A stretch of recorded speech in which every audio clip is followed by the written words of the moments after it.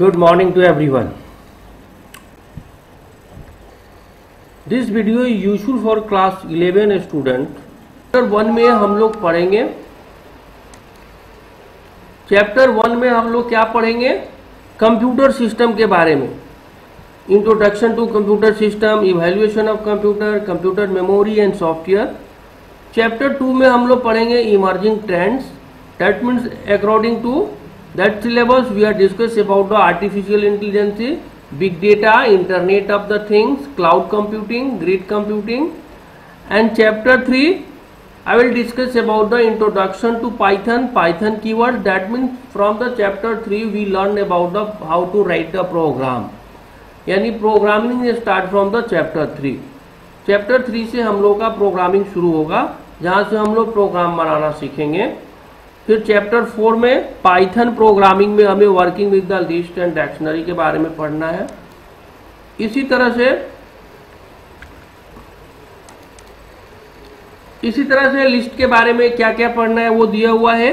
Chapter five में understanding of the data chapter six में we are discuss about the introduction to NumPy and chapter seven में we are discuss about the database concept and chapter eight में we are discuss about the introduction to structure query language यानी chapter eight में हम लोग माई के बारे में पढ़ेंगे माई के डेटा के बारे में पढ़ेंगे ये हमारा होल सिलेबस है according to the session 2020 and 2021 जो हमें 2020 और 21 में जो हमें पढ़ना है सी की सिलेबस में वो मैंने आप लोगों को दिखाया और हम चलते हैं अब हम अपना नेक्स्ट पेज देखते हैं चैप्टर वन से जो हमें पढ़ना है चैप्टर वन में we are discuss about the computer system that means introduction to computer system evaluation of computer computer memory and software जैसा कि आप जानते हैं और अभी तक पढ़ते आए हैं क्लास नाइन टेंथ में भी आपने ये चीज़ को पढ़ना है it is not it is that it is not a new for you ये आपके लिए नया नहीं है हम लोग प्रोग्रामिंग पढ़ेंगे जो हम लोग के लिए नया होगा क्लास इलेवन स्टूडेंट्स के लिए तो that means we are discuss about the computer system as we know about the what is computer a computer is an electronic device that can be programmed to accept data input process it and generate the result output okay what is a computer a computer is an electronic device that can be programmed to accept data means input process it and generate the result that will be called the output a computer along with the additional hardware and software together it is a called a computer जब हम अपने computer को hardware और software को मिला के हम उसको क्या कहते हैं कंप्यूटर सिस्टम कहते हैं that mean a computer along with additional hardware and software together is called a computer system computer system कब होगा दैट विल बी हार्डवेयर और software together with that will be called the computer system A computer system primarily comprise of a central processing unit, memory unit, output device and a storage device. This is the part of the computer system. A computer system, there are different part of the computer system that is called the processing unit, memory unit, input unit and output unit. And you can say another way, there are the following parts of the computer that is called the processing unit that is called memory unit that is called input unit and that is called the output unit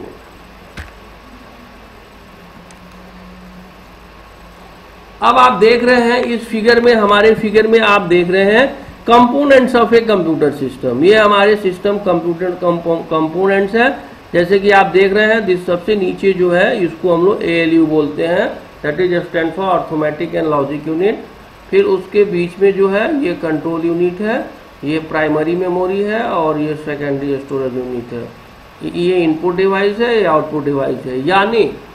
अगर हम अपने computer में कोई भी data input करते हैं figure में देखिए पहले हम इनपुट करते हैं तो वो कहाँ जाता है कंट्रोल यूनिट के पास जाता है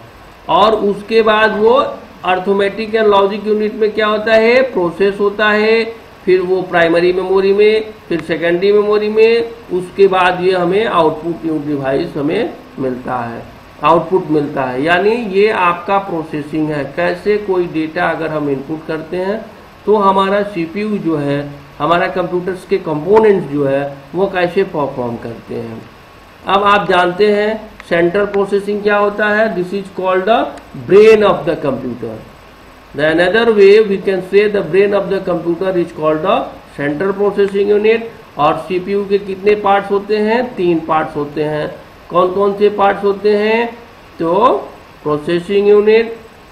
there are the three parts of the cpu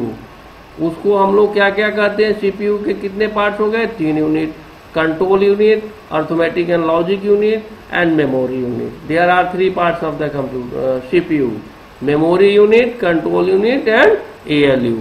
ये हमारा सीपीयू का पार्ट है मैंने इसमें देखा दिखा इसमें दिखाने की कोशिश किया है कि it is the electronic circuitry of a computer that carry out the actual processing and is usually refers to at the brain of computer it is also command card processor also physically a you can be place one or more microchip called integrated circuit integrated circuit circuit semiconductor or materials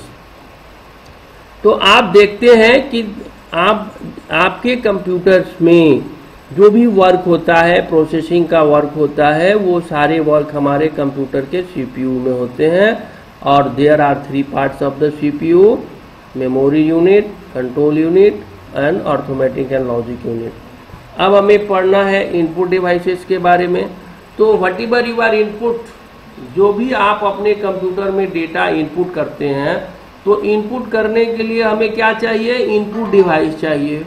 यानी what is a input device तो an input device is a type of device type of computer device that is due to inputting the data instruction into the computer computer के अंदर data और instruction को input करने के लिए जिस device का यूज होता है उस डिवाइस को हम लोग इनपुट डिवाइस कहते हैं जैसे कि mouse keyboard scanner touch screen they are called the input device and that is use for inputting the data instruction into the computer okay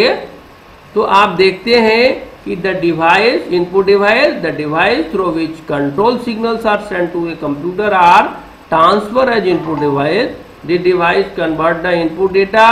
into the detail form that is acceptable by the computer system some example of the input device include keyboard mouse scanner touch screen etc जैसे कि आप figure में देख रहे हैं यह है हमारा टच स्क्रीन है स्कैनर है माउस है और कीबोर्ड है और are called the input device ये डिवाइसेस क्या करते हैं ये डिवाइसेस क्या करते हैं कि ये सिग्नल्स जो है कंप्यूटर्स को सेंड करते हैं और वो कंप्यूटर क्या करता है इनपुट डेटा को डिजिटल फॉर्म में कन्वर्ट करके और हमारे कंप्यूटर सिस्टम को प्रोसेस करने के लिए देता है तो हमें अगर कंप्यूटर में कोई भी डेटा अगर इनपुट करना चाहते हैं तो we have need an input device और इनपुट डिवाइस का एग्जाम्पल हो गया keyboard mouse scanner and touch screen अब आप देखते हैं कि what is output device okay अब इनपुट डिवाइस में हम लोगों ने जानते हैं कि जो हमने डेटा इनपुट डिवाइस से इनपुट किया मान लिया जाए कि हमने अपने कीबोर्ड से राम टाइप किया तो वो कहाँ स्टोर होता है temporarily stored in the main memory that is called the RAM of the computer system. Whatever you are typing through the keyboard या माउस किसी भी इनपुट डिवाइस से आप टाइप करते हैं या आप किसी भी इनपुट डिवाइस से डेटा को इनपुट करते हैं तो सबसे पहले वो डेटा टेम्प्रोरीली जो है मेन मेमोरी में स्टोर होता है और वो मेन मेमोरी किसको कहते हैं रैम को कहते हैं ठीक है उसके बाद जैसे हम उसको चाहते हैं तो फिर उस डेटा को हम अपने सेकेंडरी मेमोरी में डैट मीन्स परमानेंटली उसको हम सेव कर लेते हैं तो this is information about the input device and next output device तो जैसे कि अगर आपको इनपुट करने के लिए जिस डिवाइस की ज़रूरत है वो इनपुट डिवाइस करते हैं उसी तरह आउटपुट डिवाइस क्या है कि जो हम डेटा जो हम इंफॉर्मेशन कंप्यूटर से रिसीव करते हैं उसके लिए we have need a output device यानी an output device is a device that is use to receive the data from the computer system computer system से डेटा को रिसीव करने के लिए हमें ज़रूरत पड़ता है उसको हम लोग जो है सो आउटपुट डिवाइस करते हैं जैसे कि आप फिगर में देख रहे हैं आउटपुट डिवाइस डिस्प्ले आपका मॉनिटर आउटपुट डिवाइस है आपका स्पीकर आउटपुट डिवाइस है आपका प्रिंटर जो है सो आउटपुट डिवाइस है थ्री प्रिंटर कोई भी प्रिंटर हो ये सब के सब क्या है आउटपुट डिवाइस है तो the device that receive data from a computer system for display physical production is call output device क्या करता है ये it convert digital information into the human understandable forms यानी जो हम हम जो आउटपुट डिवाइस में जो डेटा डिस्प्ले करता है तो वो तो कंप्यूटर से आता है तो आउटपुट डिवाइस ने क्या किया it receive the all the information from the computer device and convert into the human understandable form फिर उसको हमारे ह्यूमन के समझने की लैंग्वेज में कन्वर्ट कर देता है और फिर वो डिस्प्ले करता है मोनिटर पे प्रोजेक्टर पे हेडफोन में स्पीकर में प्रिंटर में that will be called output device अब हमारा हो गया evaluation of the computer from the simple calculator to modern day powerful data processor computing device has involve in a relatively short span of time सबसे पहले जो हमारा computer का evolution आया कैलकुलेटर से शुरू होके और कंप्यूटर तक आया the दिफॉन Neumann architecture is shown figure देखिए ये जो आर्किटेक्चर है इसको हम लोग बोलते हैं वॉन निमोन आर्किटेक्चर इसमें इनपुट हो रहा है फिर आपका सेंट्रल प्रोसेसिंग यूनिट है यहाँ पे मेमोरी है और फिर आउटपुट है this will be called a von Neumann architecture तो that von Neumann architecture is shown figure that it consist a central processing unit for processing arithmetic and logical instruction a device that communication channel to send receive the output data okay इसको हम लोग ये during the seventy large scale integrated circuit of the electronic is use सबसे evaluation of computer में हम लोग को जानना है कि सबसे पहले कौन कंप्यूटर आया उसका क्या वर्क था उसमें हम कहाँ तक काम करते थे ये मैंने फिगर के थ्रू आप लोगों को समझाने की कोशिश किया है सबसे पहले जो है ये आप देखिए 500 हंड्रेड बी में बाकस कंप्यूटर आया उसी तरह 1642 में जो है फेसिमाइल कंप्यूटर आया फिर 1834 में है ना लिटिकल इंजन आया एनालिटिकल इंजन फिर 1819 में आया फिर ना आपका जो है 1937 में इसी तरह से जो है हमारे पास जो सबसे पहले जो इंटीग्रेटेड सर्किट जो हम लोग कंप्यूटर यूज करते हैं वो 1970 के बाद से आना शुरू हुआ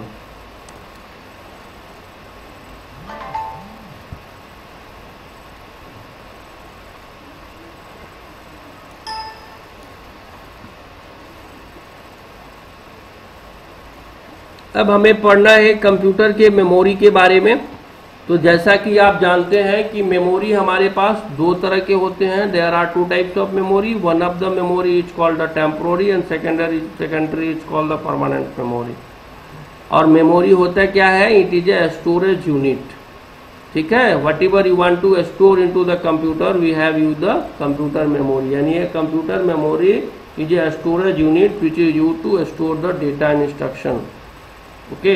तो कंप्यूटर मेमोरी का यूज होता है डेटा और इंस्ट्रक्शन को स्टोर करने के लिए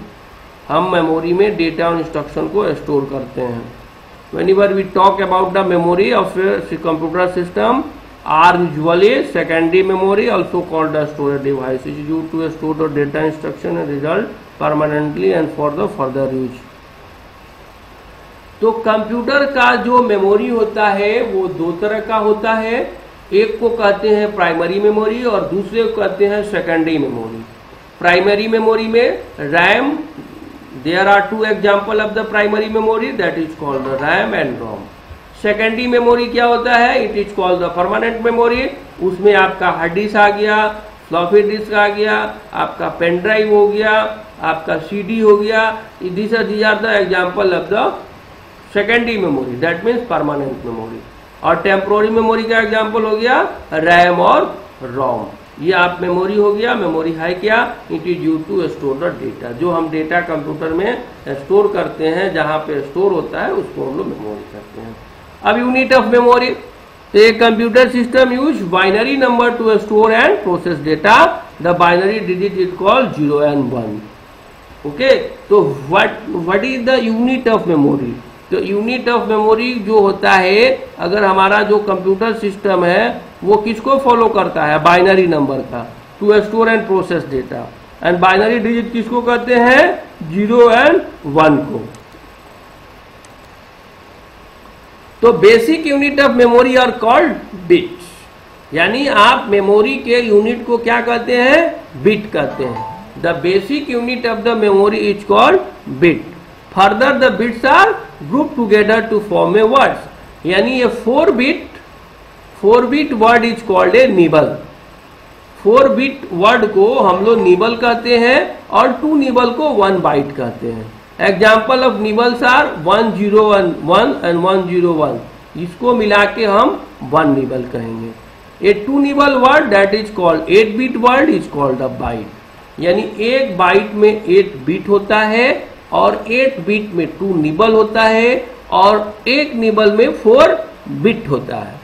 अब आपका यूनिट यहाँ दिया हुआ है this is the unit of the memory kilobyte one kilobyte बराबर ten twenty four byte and megabyte one megabyte बराबर ten twenty four kilobyte gigabyte one gigabyte बराबर ten twenty four megabyte byte one terabyte equal to ten twenty four gigabyte